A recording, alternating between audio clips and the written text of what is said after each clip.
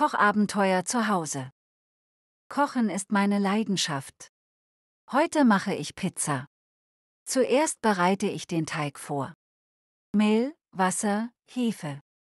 Dann kommt die Tomatensasse drauf. Ich liebe viel Käse auf meiner Pizza. Auch Tomaten, Oliven und Pilze. Manchmal probiere ich neue Zutaten aus. Heute entscheide ich mich für Artischocken. Die Pizza kommt in den Ofen. Der Duft erfüllt die Küche. Nach 20 Minuten ist sie fertig. Golden und knusprig. Mit einem Salat und einem Glas Wein wird das Essen perfekt. Bon Appetit!